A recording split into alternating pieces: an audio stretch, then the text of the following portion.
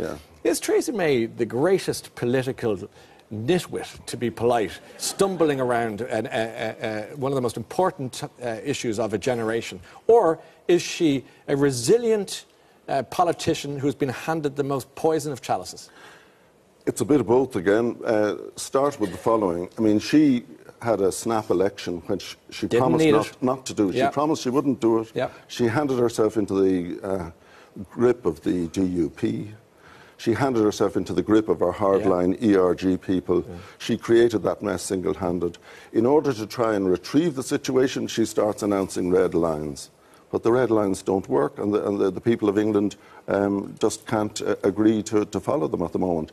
And she is within now, whatever it is, 10 days of bringing them uh, on a crash out basis out of the European Union. Yes. And although the consequences for this country are very, very serious, Yes. the consequences for the UK can be catastrophic too. Yes. And I mean, we're, uh, the, today's papers are saying, you know, that there'll be a parity between the uh, euro and sterling if this happens.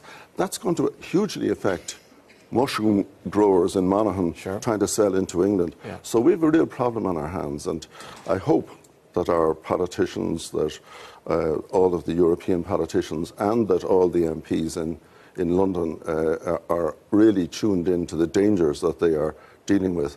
Somebody said, you know, Westminster used to be called the uh, Mother of- Parliament, that's right. and uh, it's Mother of Jesus as far as I'm concerned. There's a bit of that, and it's leaking. Yeah, exactly. Uh, Yeah, yeah, uh, yeah, yeah. Physically and metaphorically,